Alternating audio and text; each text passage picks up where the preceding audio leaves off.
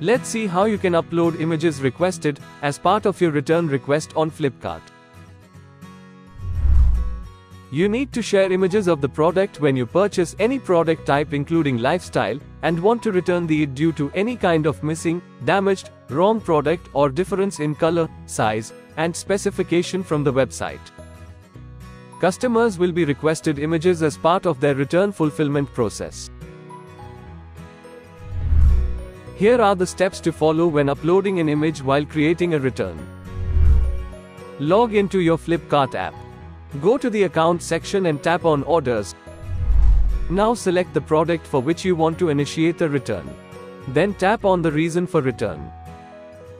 Upload the images of the product using Upload Item Image option, following the image guidelines.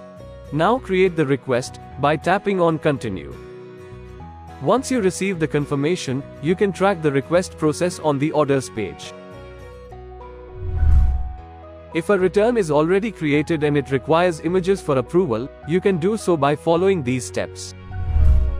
Visit the orders section and tap on the product for which a return has been created. Tap on the Need Help option. You can now upload the images of your product by tapping on the Add Images or PDF option. Now tap on Send option. Your request will be fulfilled according to the seller's returns or replacement policy. Seamless returns now with visual proof. Snap, upload and return.